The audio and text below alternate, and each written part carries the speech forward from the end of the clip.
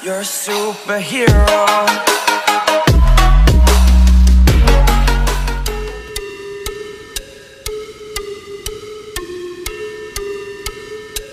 Hey yo mga ka-Volters! Welcome back sa ating channel. Heto ang top 10 plays when middle blockers are out of coverage area. Walang blockers, sure point.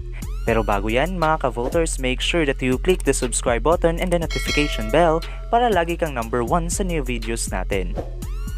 Simulan na natin ang countdown. At number 10.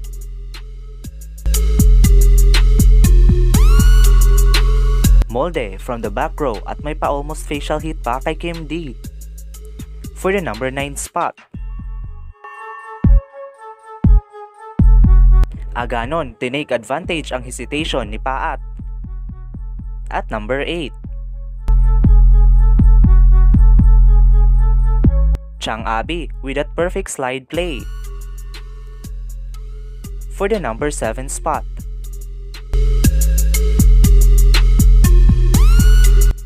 Valdez nagpakawala ng malakas na palo galing sa back row zone. At number 6. Koneksyon ni Palma at Negrito nilito ang blockers. For the number 5 spot. Perfect timing results to a perfect quick hit. At number 4. Dimak at Aiza with their iconic combination play. For the number 3 spot. Malaya pa sa ibon si Mylin Paat sa spike na ito. At number 2.